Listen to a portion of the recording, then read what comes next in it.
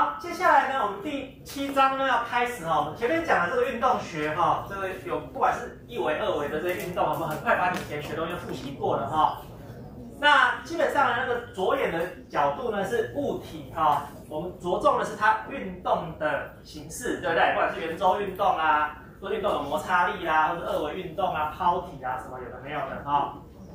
那接下来呢哈，我们的物理就要往更深层次的地方去探讨了哈。是什么东西让物体能够动啊？那让物体能够动的这个东西呢？它怎么样子啊？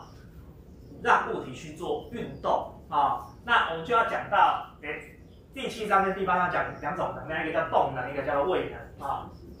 好，那我们第一章先讲所谓的动能跟功啊，这 kinetic energy 是所谓动能哈，kinetic 所谓的这个动的啊，所以 kinetic energy 有时候我们会简写成 K 一啊，就是所谓动能啊，或者有人写一 K 也可能啊。那 work 就是功啊。好，那首先我们来先讲什么是动能啊。那基本上呢，只要是物体在运动啊，它就需要能量啊。好，所以呢，好，我们先来讲啊，那能量呢，什么是什么能量呢？什么是能量？能量是一，它是一种一种一种一种量值哈。这种量值呢，哈，它会作用在或者出现在什么呢？object 就是所有的物体，或者是一 system of object 就是。一堆物体所形成的这个系统里头，啊，这个能量会放会出现在这些地方啊。好，那这个能量呢，可以从一种形式转换成另一种形式啊，或者是从一个物体转换成另一个物体啊。那这是这是我们能量的一个一个特性啊。那基本上呢，在一个封闭的系统 （closed system） 啊，我们的能量是坦射啊坦射不是所谓的守恒啊，conserve 可以翻成保守，可以翻成守恒啊。好。那简单来说呢，假设一个系统是封闭的啊，你里头有各种形式的能量，这些能量可以转来转去，但是它不会不见啊，在这个封闭系统里头，多少能量都会在里面啊。那这种情况就是所谓能量守恒啊，这个大家都知道啊。好，那在这里头呢，我们就讨论其中一种形式，叫所谓动能啦啊，动能。那同时呢，啊，也讨论一种把能量做转换的形式，就所谓做功啊，做功是一种。把能量呢去做转换的一种方式啊。好，那我们来讲，刚刚是讲能量嘛，哈，那现在什么叫做动能呢？啊，基本上来说，我们如果说一个物体它动得越快啊，那它的动能就会越大啊。那再来呢，对于一个静止的物体啊，所以 stationary object 就所谓的静止啊，stationary 是静止的哈，object 是物体啊，一个静止的物体呢，它的动能是零啊。那我们一般假设我们的运动的速度远低于光速的话，啊，那这个动能定义都知道，k 等于二分之一 mv 平方，啊，这个是我们这个很小的时候就学过的，对不对？啊，好，那它的单位呢？动能单位，因为反正能量单位，你不管它叫什么能，只要是能量，它的单位哈就是焦耳，啊，那一个焦耳呢，哈，相当于公斤乘以公尺平方除以秒平方，啊，这个大家都知道了，啊。好，那在这里头呢，哈，第一个我们要算动呢，这个呢，就课本就讲了一个故事啦，哈，这个故事是什么呢？哈，是这样子哈，这个故事讲的是一个很中二的故事啊，不要以为中二这这个这个这样的一个行为哈，现在才有哈，几百年前，没有几百年前，一八九六年是多久？一百。现在是二一嘛，对不对？哈，一百一百二十五年前啊，一百二十五年前哈，时间是九月十五号啊，我们今天是九月十九，哎，十月十九号，对不对？就差不多刚好一百二十五年前哈，再过一个月哈，在德州的这个瓦口哈，这个瓦口这个地方哈，他们做了一件事情哈。为什么说这件事情很中二呢？哈，因为呢哈，他们去做了一个。一个表演就是让火车对撞，啊，火车对撞。为什么要做火车对撞呢？哈，其实很简单嘛，因为这个德州这边呢，哈，在这个地方呢，哈，它其实在当时是在做这个林业，哈，很盛很盛行的地方，就砍木头啦，哈，然后他们用火车去运送，哈。那当时的火车是蒸汽火车嘛，对不对？啊，啊，然后当时呢，哈，因为要林业要运很多木头，所以就盖了非常非常多的蒸汽火车，就一直送，一直送，啊。好，那可是呢，哈，哦，当时的火车哈，他们这个他是从这个德州哈、堪萨斯州，还有一个忘记什么州哈，三个地方合起来，所以那个它的这个缩写哈，这个火车通常都叫做 Kitty 啊，Kitty 海地猫的 Kitty 啊，啊，昵称叫 Kitty 啦哈，所以他们玩游戏时候用 Kitty 去对撞啊哈。好，那当时呢哈，因为火车很多，好了，可是后来发现有更新的火车哈，以前那个小火车开的速度比较慢啊。新型的火车开的比较快，可是呢，你以前又做了买了很多啊，对不对？买了很多怎么办？那你就只能堆仓库啊，哈，那仓库堆堆堆堆堆堆了一大堆也没有用啊，啊，对于商业来说的话，你一个东西卖不出去放在仓库，它就一直减损它的价值，对不对？啊，所以他们在做什么事情呢？哈，他们就想说，哎，这个火车对撞好像是一个好生意哈，为什么火车这样好生意？如果我可以让大家来看火车对撞，对不对？啊？你看这多中二，对不对？哈，就像你们坐两台车去对撞，对不对？这个打那个擂台一样，哈。如果火车对撞，好，可以当做一个表演的话，也许可以赚钱哦，啊，反正火车那么多嘛，对不对？啊，好，所以呢，哈，这个人哈，这个这个威矿啊，这个人哈，他就说，好，我们就来计划一件事情。所以他为了这件事情去挖口这个地方呢，哈，这个地方本来是一个鸟不生蛋的地方嘛，哈，他特别从那边再盖一条铁轨过去。啊，他怎么做这个生意呢？哈，其实大家可以想想想看哈。他就说，如果去看火车对撞，一般来说就收门票，对不对？哈，不对，哈，他不收门票，哈，去看这个火车对撞不用钱，啊，那他聪明的点在什么地方？他就故意把这个对撞，他说啊，因为对撞可能危险啊，所以要找一个鸟不生蛋的地方，对不对？要空旷嘛，要比较远离市区嘛，对不对？哈，我这个对撞啊，哈，不收钱。但是呢，因为你要到那边很难过去，对不对？啊，因为我不是刚好盖一条铁路可以过去那边吗？对不对？哈，你坐我的火车要钱，哈，一次两两块钱美金，啊，他就收你车票钱啦，哦，他说对撞看不用钱，啊，你有本事自己去当 OK 啦，哈，但是大部分人是没有本事去的，所以就只能坐火车过去啦，啊，好啦，啊，那因为火车对撞，其实你你会想到哈，现在大家。要你去看这个火车对撞秀，可能也不会那么多人看哦。你现在太多可以玩的东西，对不对？你可以玩手游啊，对不对？可以上网啊，哈，你可以玩很多很多的东西。当时人根本没有什么娱乐，对不对？哈，所以，哎，火车对撞是大事哦，就很多人去看哈。好，所以呢，哈，当时呢，他有多少人去看呢？哈，这里说有三三万名观众啊。哦，当时在那个地方找出三万名观众是很恐怖的事情啊，哈。好，那他怎么做呢？哈，他就把两个火车，哈，他就盖了一条铁轨，哈，这条铁轨的全长呢，啊，这条铁轨全长，啊，是六点四公里。然后呢，这个火车，啊，这个火车，对不对？蒸汽火车，对不对？啊，好，好，示意图了，啊，示意图了，啊，蒸汽火车，然后就让它这样走过来，啊，这样走过来。啊，去对撞哈，然后这里当然就很多观众啦，对不对？啊，这很多观众在这边，啊，观众在这边，啊，观众在这边，啊，满满的观众这样子哈。好，那所以呢，哈，他就反正就很多人很多人去看嘛，哈。那所以前这两边呢，哈，他就找司机人上去启动加速，对不对？然后加完速之后呢，就跳车，对不对？啊，全部跳下来，不然。火车这个人在上面多恐怖啊，对不对？然后跳车哈，好，结果呢就发就去对撞了哈，等下给你们看那个影片哈，对撞影片哈，对撞了哈，结果很不幸哈，当时本来他们说这个负责这个对撞的这个工程师哈，不是这个不是这个威廉康许这个人哈，他说他们锅炉特别设计过不会爆炸哈，很不幸的撞完之后呢，就真的爆炸了啊，所以呢哈。有这个好几百人哈，被那爆炸碎片喷喷发哈，受伤了哈，然后死了两个人，啊，被那碎片喷到啊，打死了两个人哈，然后有个摄影师哈，很衰哈，刚好被那个飞出来螺栓打瞎了一只眼睛，啊，所以这个，所以这个在美国历史上是很有名的一件事情啊。一九七六年那边还有另一个碑，对撞碑啊，对撞碑啊。好，我们现在来看影片，我们再来再来看这个题目吧啊。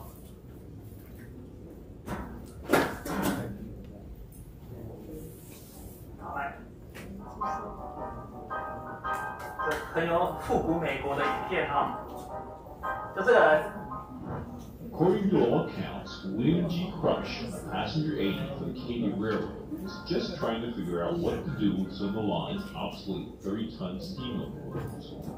Some had already been sold to logging operations. Others had been sent to.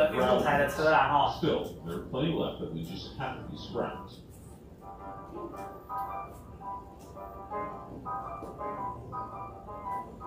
In the 19th century railroad accident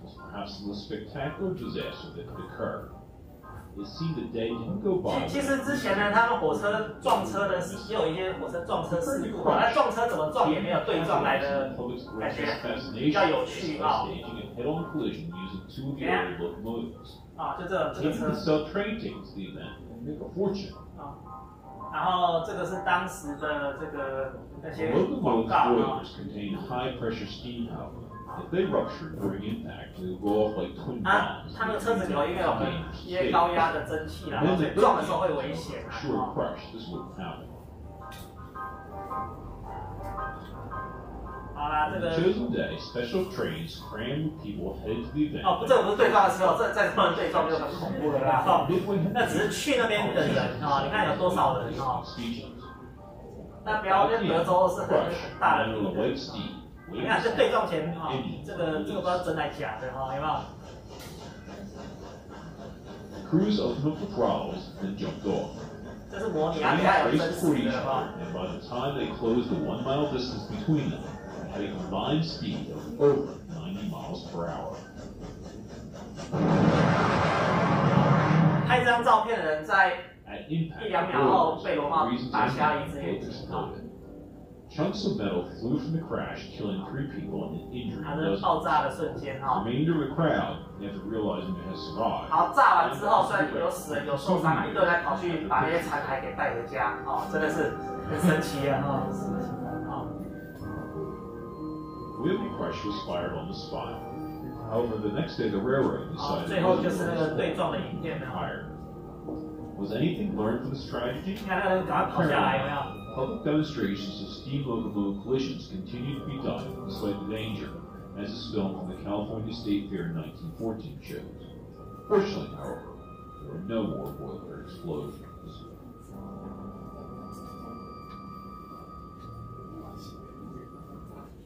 这个这个这个以前的人哈也真的是无聊哈，不过也就是就是要这么无聊哈，科学才会才会演进啊哈。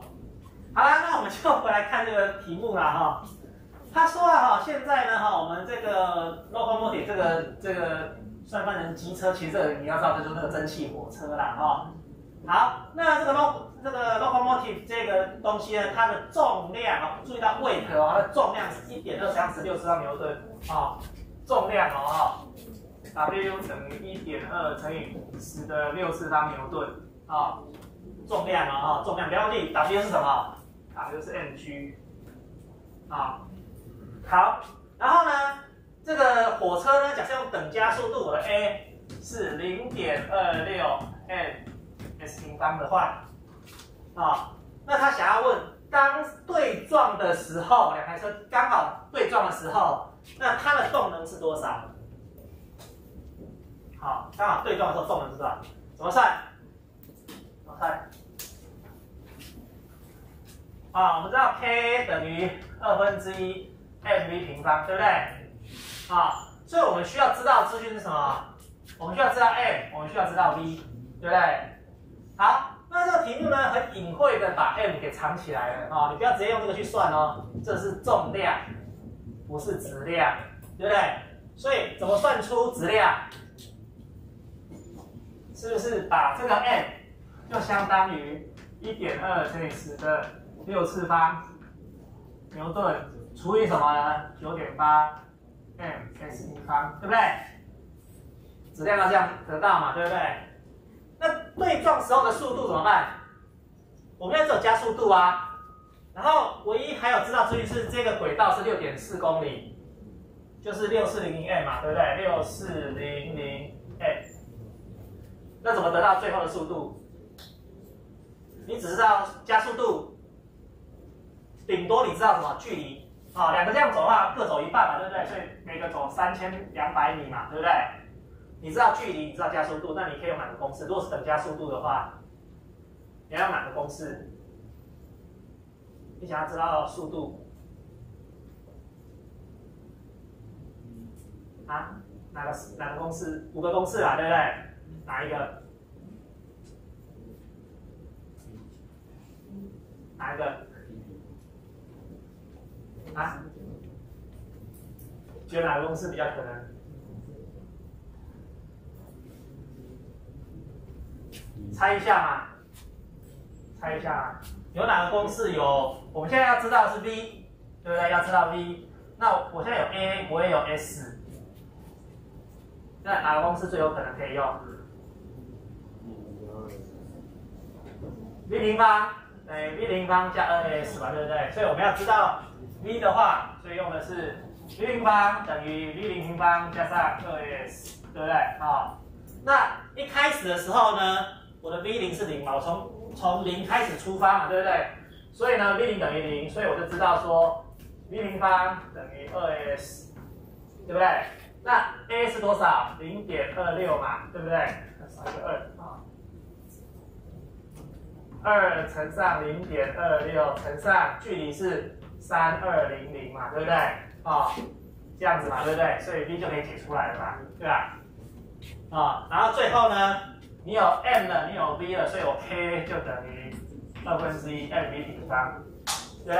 啊，当然你可以不用这么算，你直接用这个式就可以算了，对吧？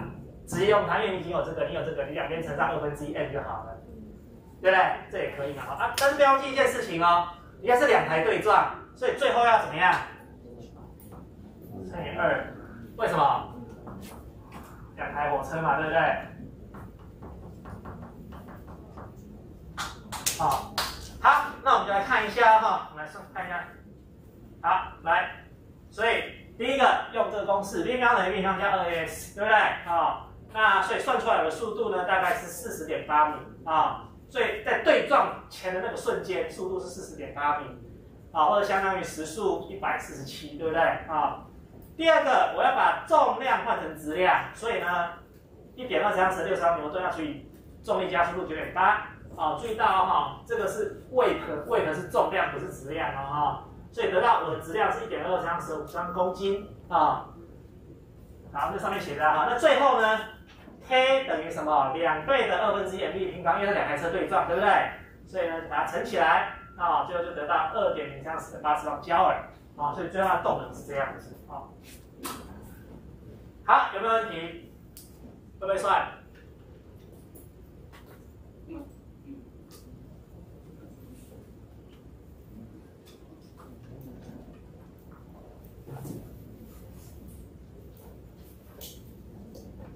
会算哈，会算哈，所以其实课本其实都类似这种啦哈，不是很难，但是就考你一点点观念而已啦哈，在这里哈。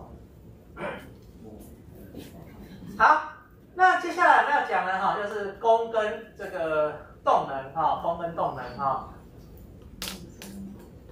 好，那我们说哈，假设我们今天要改变一个物体的这个这个动能的话呢，那你必须要怎么样？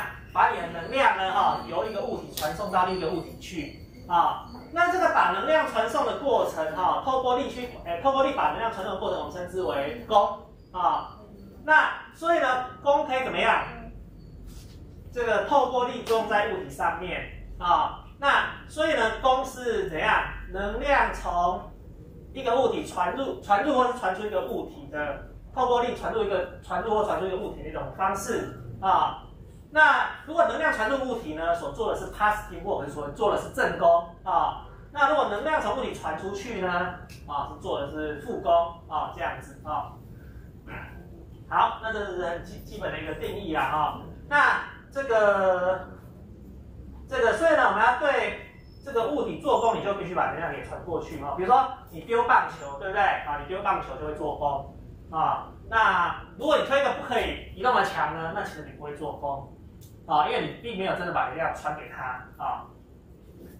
OK，好，所以呢，哈，我们来看一下哈，如果我们从这个一维运动的速度的方程式，其实就刚刚，等下我们用刚刚的方程式啊，我们说，假设我们知道哈，F 等于 mx 的话，那刚刚我们不是用一个公式是 b 平方等于 b 平方加二 s 吗？对不对？啊，那我们用 b 平方等于 b 平方加二 ad 来表示的话，啊，那两边同乘以二分之一，其实我们上上次上课上上上次上课讲，对不对？如果把两边同乘以二分之一 m 的时候，啊，我再写一下啊。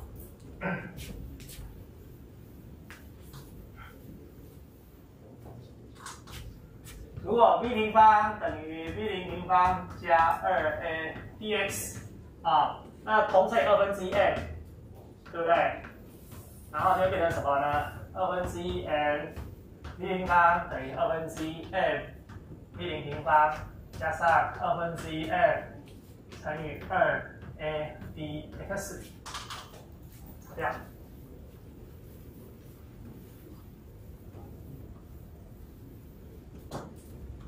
好了，所以最后就等于什么？二分之一 m v 平方等于二分之一 m v 零平方加上什么呢？二分之一二分之一消掉，二分之一二消掉，太小了哈，a dx。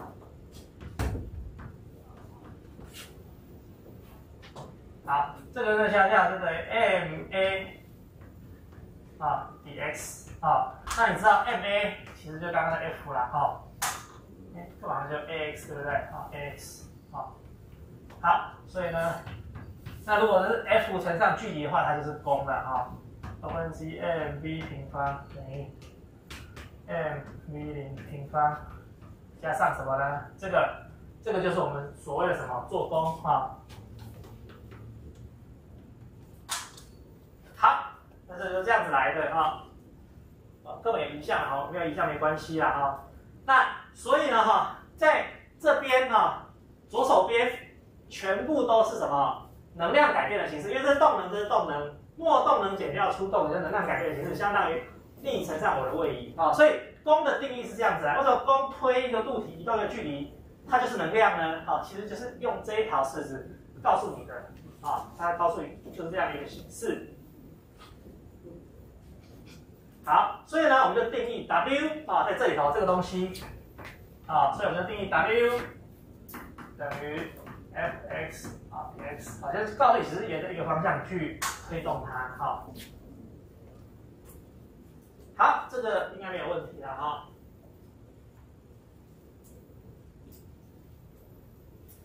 那当然有一个重点就是说，你看为什么写 x 呢？因为我们去推动一个物体的时候。你不一定推的力是跟你的这个移动的方向是一样的啊，所以我们真的去计算这个物体在移动的时候啊，你要注意到啊，你施的力是跟你的这位移方向一样啊，所以我们只能算什么呢？力在这个物体位移的这个分量啊，那个才有意义，对不对啊？那如果你现在施的力是垂直位移的话，你就做的功就是零啊，那个力啊不能跟你的位移做相互垂直啊。那假设力跟位移呢，彼此之间的夹角是一个 phi 角的话，哈，那我们所做的功可以写成 F d F 乘上 d cos phi 哈。那事实上，所以功呢，哈，它就是一个什么？我们说这个功啊，哈，它其实就是一个，应该说是两个向量去斗的，因为力是一个向量，位移也是一个向量，对不对？那其实就是 F d cos phi 啊。那其中这个 phi 是力和位移的夹角。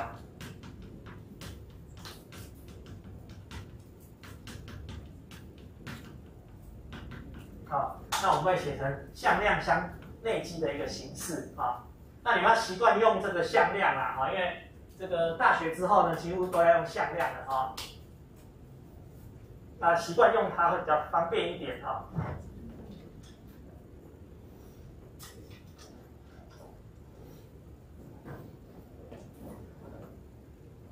好，所以哈，在这个这个。这些公式呢，哈，我们在使用的时候注意哈，在这样写的时候呢，我们先暂时是把力当成常数的哈。我们在后面哈，上到后面的时候，我跟你讲，哎，其实力不一定是常数哦，力会变哦，好，那我们就用别的算法去算。那物体呢，它会类似指点哈，那光不要忘记，我们那时候讲什么样的东西可以加它为指点？一个是物体彼此之间相对相没有相对位移，它移动的时候大家就一起动，这你可以当一个指点来看啊。如果你丢出去变形，像马吉这样变形的话，那你就不能这样，因为它这样变形呢，也会怎么样？也会吸收能量啊哈，所以公式就会不适用啊。所以基本上呢哈，我们这个公式暂时先把力当成常数。第二个呢，我们把物体呢当成类似质点一样嘛，就 rigid 就是为钢体啊。好，那当然哈，力可以是正的或者是负的啊。你说这个内积哈，内积的子弹，这个夹角可以是正弓，也是负弓啊。好，那这里头有个例子啦哈，就是有个珠子哈，这个 B 这个是珠子哈，珠子把它放在一条串珠了哈，放在一条这个绳子上面哈，那我今天去拉它，但是我是斜斜拉它啊。那这个 Y 哦上面这个 B 的这个珠子呢哈，如果这样去拉它的话，我分成两个分量啊，垂直分量不做功，水平分量呢会做功。所以当我去拉它的时候呢，一开始的时候我的动能比较低。那在如果一直维持这个角度去拉它，它的动能呢就会越来越高啊。那真正有做功就是位移的这个分量啊，大概概念是这样子。好，那功的单位呢？因为功可以跟动能互换，反正都是焦耳嘛，对不对？那能量也是焦耳啊，所以它单位也是焦耳啊。那英字的话呢，就是什么？就是英尺乘上你的什么？英尺上你的磅啊。那这个是这种比较少在用了，我就不管它了啊。OK 哈，那所以呢，假设物对一个力来说哈，那假设它做正功的话，表示什么？我力向量的这个分量呢，跟位移的方向是同一个方向啊。那做负功呢，代表是我力的这个向量呢，跟位移的分量呢是反方向啊。那垂直的时候呢，就会做负功啊。那基本的，然后有内积告诉你这个概念啊。好，那当然哈，如果你有两个以上的力呢，哈，你可以去做一个 network 啊，这不是网路了啊，这进攻哈。那这个两个以上的力呢，哈，它的进攻怎么算呢？你可以由单独的力所做的功把它加在一起啊。那当然你也可以怎么样？你虽然可以把单独的力彼此的功加在一起，你也可以先把它力先和算成向量，和向量算完之后呢，再由这个和向量的力。对，跟位移所做的功啊来做计算，这样也可以啊。所以加在一起算，分开算啊都可以啊。好，所以呢哈，那个前面都是基本概念啊。那这时候我们要讲那个叫功能定理啊哈，功能定理，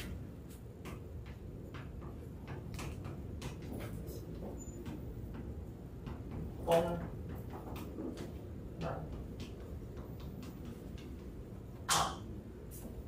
好，那这个功能定理呢？哈，把写好了。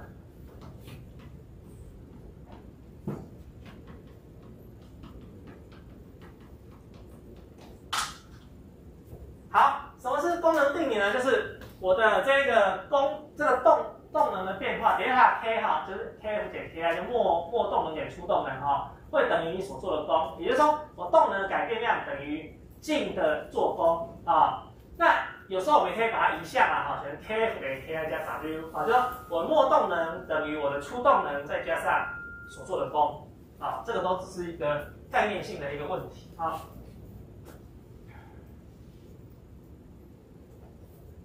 好，那当然功能定理告诉你了，哈，说我们的功可以是正功，也可以是负功，啊，那比如说这个，如果说哈。我们说一开始粒子的动能是五焦耳啊，那今天如果传了两焦耳到粒子里头，当然是总动能变七焦耳啊，就做正功啊，传进系统里头啊。那如果两个焦耳从粒子传出来，我最后动能剩下三焦耳，那就是做负功，对不对啊？那这个就是我们的简单的功能定理而已啊。好，这个应该没有问题啊，这应该都国中程度的物理，对不对？好。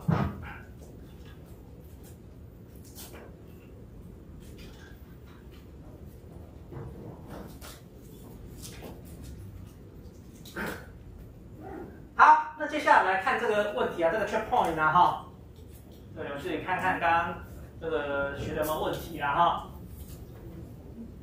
他说啊，这是个例子啊，哈，它沿着 x 方向移动，哈，那如果说他他想要问的问题是什么呢，哈，在下面的几种情况下，他想要问粒子的什么，它的动能是增加、减少或者是不变，啊，如果粒粒子的速度一开始是负三 ms。到负二 ms 啊，是 a a a 小题情况，b 小题从负二到二哈，那 c 小题呢？他问的是说，那在上面两种情况下啊，到底是这个对粒子做做的是正功、负功或者是零功啊。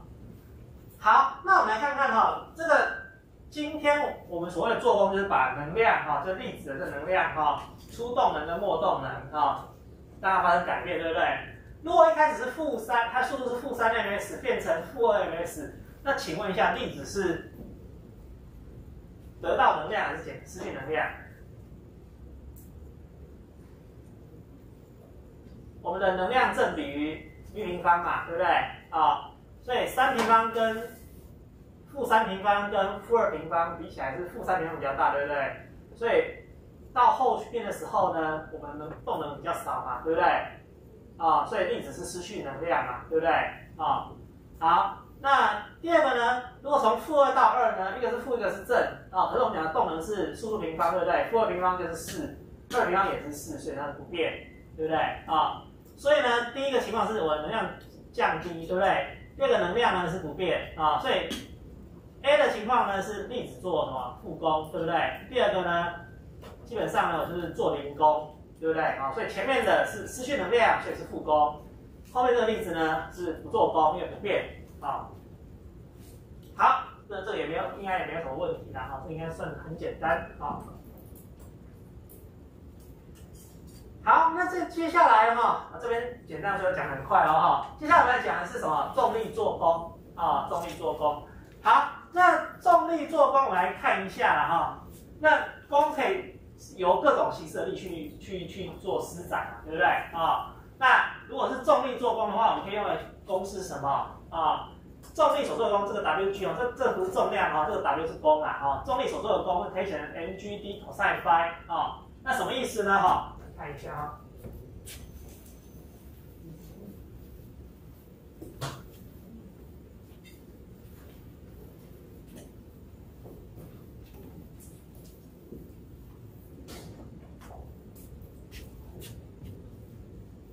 好，朝下当然是 m g 嘛，哈，那如果考虑方向的话是负，对不对？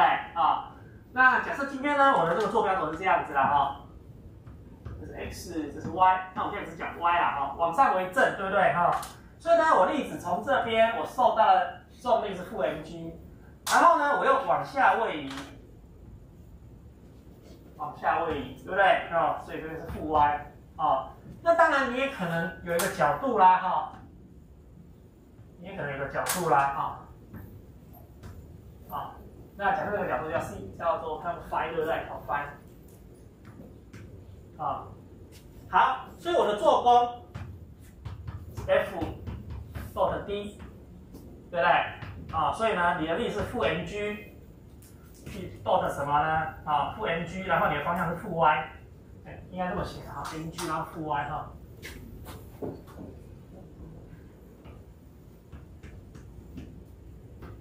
Dot 什么呢？你的位移哈，y，然后呢，y head 这样子，对不对？啊，那这样子呢？如果说刚好两个是这样子的话，就是 m g y，对不对？y 跟 y 负号负号消掉，这两个 dot 是变非零，对不对？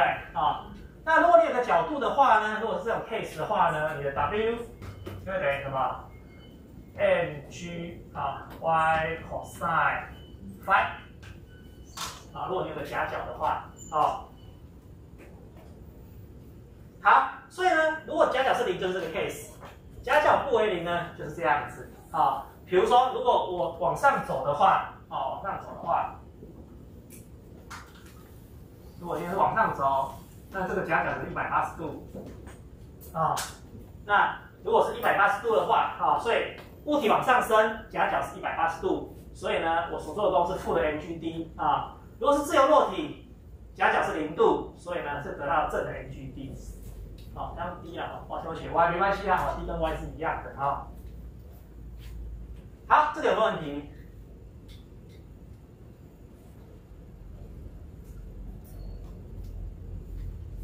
这个应该很简单了哈。